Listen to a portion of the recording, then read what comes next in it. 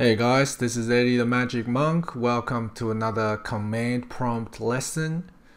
Uh, the first thing I want to talk about today is something to do with the dir command.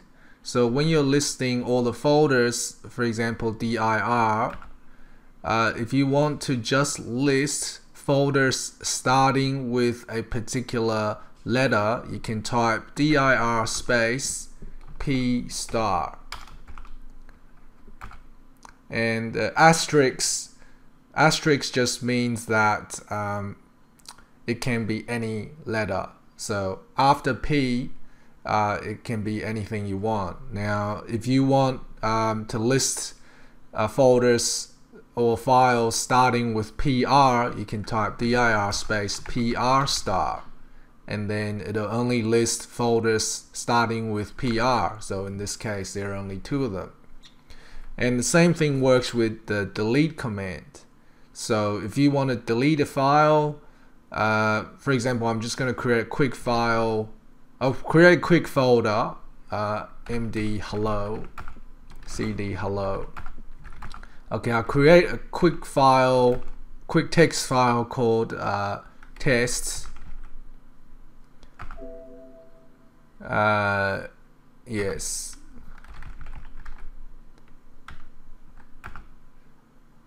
and uh, so when you delete files instead of typing uh, delete test.txt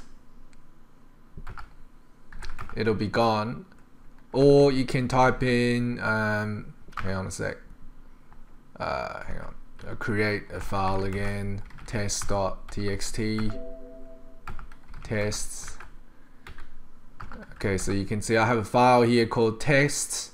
And if I want to delete everything, I will type de delete star. If I want to delete all the files starting with T, I would type T star. Okay, so that's how you would use stars and uh, names.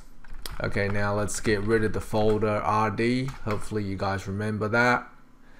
Okay, so now what I want to talk about is how to copy files. So the first thing I want to do is I'm going to make a folder called Explorer. Okay, so I have a folder called Explorer and uh, hopefully you guys remember how to make folders and change directories. Okay, now I'm going to the program files folder. So cd slash program files and you can see there's a folder called Internet Explorer. Okay, so I'm gonna copy all the files from here into my um, into my Explorer folder that I have just created. So C drive slash Explorer, that's my own folder with nothing in it. And I'm gonna copy everything from the C drive slash program file slash Internet Explorer. I'm going to copy everything from that into this folder. And the command that I'm going to use is called robocopy. Okay, so robocopy uh, basically um, what you want to do is type robocopy slash question mark now you can actually do that with pretty much all the DOS commands. If you type slash question mark, it gives you a list of all the possible uh, attributes you can attach to the end of the command. So you can see that it's giving me a list of things that I could do and these are all the possible options that I can add to the end of the end of the command. So basically this explains pretty well what you have to do, robocopy. The usage is robocopy space where you want to copy from space where you want to copy to space uh, and then any any options okay so what I'm gonna do is I'm gonna show you how to copy everything. So the folder was uh, that was the full file path so I'm gonna type robocopy space where I'm copying from which is C drive slash program file slash internet explorer actually I'm gonna put this under quotation marks because just in case the computer gets confused. Space quotation mark C drive slash explorer quotation mark. And then the uh, options that I'm gonna add at the end of the command is slash e.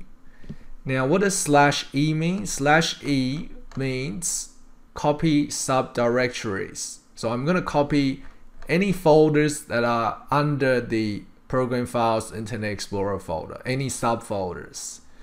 And another command I'm gonna use is slash uh, copy all. So copy all copies all file info.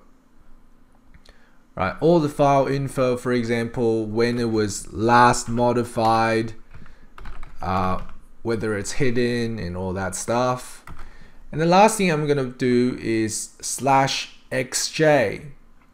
Now, what does slash xj do? Slash xj, I'm um, just looking for it here. xj, xj.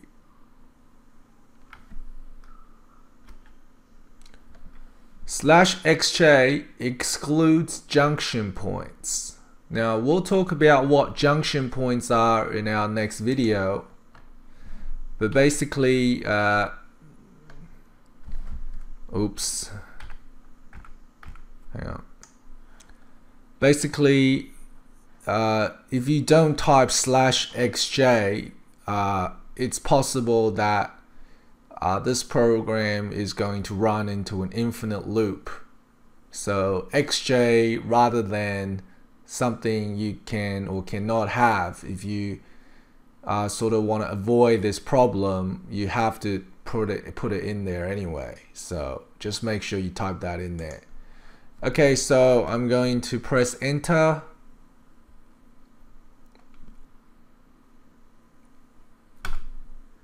You can see it's done all of this. And uh, it's not allowing us to copy some files. Not sure why. So you can see here that RoboCopy is stuck because it's trying to copy these files that are access denied. So Windows doesn't want you to copy its system files or whatever. So what you're going to do is press Control C to jump out of that. So that's the break. And you can see that if we run RoboCopy again, it automatically detects what files have been copied already and it jumps to the files that haven't been copied yet. So that's a pretty useful feature of RoboCopy. Now, uh, what we're going to do to uh, fix this waiting 30 second problem uh, obviously there's no way for us to copy the files because we don't have permission but to fix the waiting 30 seconds problem, uh, what we're going to do is change the wait time when it wouldn't let us copy. So that way we can still go through all the files and copy the ones that we can copy in a very short time, short amount of time. So to add to the end of our robocopy to fix that, we're going to type slash r colon 1 and that means the amount of retries. So it's not gonna keep retrying on the same file. It'll retry it once. If it doesn't work then we'll skip it. And then slash w which is the wait time is one second instead of waiting 30 seconds we're only gonna wait one second so if we run that again and you can see that it's pretty much uh, jump through everything already. Oops, retry limit exceeded. So there's only one file that we can't copy, which is inside the PRIS folder called resources. Everything else has been copied. And uh, just to make sure that that's the case, you can type dir slash s to list all the files in our original folder. You can see there's 135 files and if you go to the folder that we just created dir slash s sorry uh, the wrong slash dir slash s there's 134 files. So there's only one file missing which is the file that Windows didn't want us to copy. Okay thanks guys. Hope you learned from something from this tutorial. See you next time